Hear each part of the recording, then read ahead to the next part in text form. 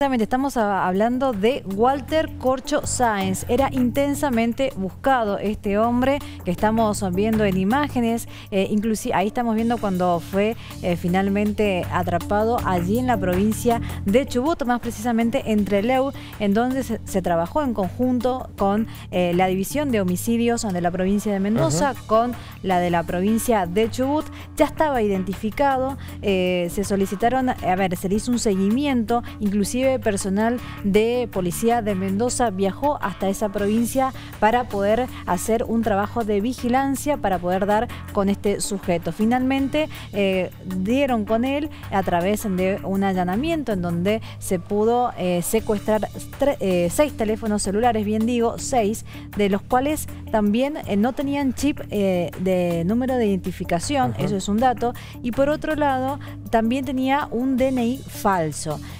con eso se manejaba este sujeto allí en esa provincia. Ya eh, la investigación del fiscal Carlos Torres tenía determinaciones, o al menos lo que se especulaba, era que eh, los cinco prófugos estaban distribuidos en diferentes provincias del país y bueno, en un trabajo de inteligencia se puede dar con Sáenz uno de estos cinco sospechosos de eh, ser los presuntos autores del asesinato de Emilio Jiménez, este empresario de la feria de Guaymallén Recordemos, Tano, que el hecho ocurrió el pasado 15 de septiembre, en plena siesta a la luz del día, donde lo que intentaron era robarle más de 5 millones de pesos que trasladaba en su camioneta. Fue interceptado por dos vehículos en donde allí eh, lamentablemente eh, lo terminan atacando y muere de un disparo. Pero también eh, hay dos personas detenidas, recordemos, que están todos imputados con la misma calificación, homicidio criminal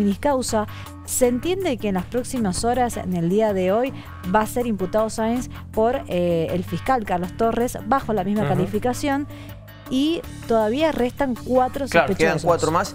Recordemos que hay una recompensa, ¿no? Para hay una recompensa de 700 mil pesos. Eh, inclusive la Fiscalía de forma inmediata, eh, desde el Ministerio de Seguridad, ofrecieron esta recompensa para poder eh, cualquier persona que tuviera algún dato acerca de quienes habían participado de esta banda que de delincuentes que terminan, bueno, con la vida de este empresario. Y además, dentro de la investigación lo que se dice es que están muy complicados porque han dejado mucho material genético, ¿no? Sí, recordemos que hay eh, hay una mancha de sangre, que eso fue clave también para poder determinar el ADN de uno de estos sujetos y además de eh, la forma en la que, eh, a ver, se manejaron dentro de la escena del crimen porque abandonaron los dos vehículos con los cuales interceptaron a Emilio Jiménez. Y no solamente eso, sino que mucho de eso quedó bajo el registro de las cámaras de seguridad de la zona. Por lo tanto, ahora resta dar con los otros cuatro sospechosos.